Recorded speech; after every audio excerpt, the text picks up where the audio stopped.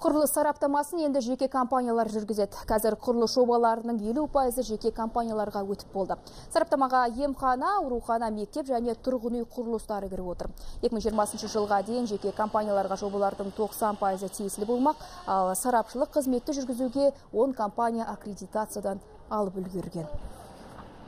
То, что касается э, качества строительства. құрылыс сапасына келер болсақ сарапшылардан ешкім жауапкершілікті алып тастаған жоқ. Мейлі жеке немесе мемлекеттік сарапшы болсын барлығы заң алдында жауап береді. Құрылыс нарығының барлық мүшесі өз қызметіне асқан жауапкершілікпен қарайды деп үміттенемін.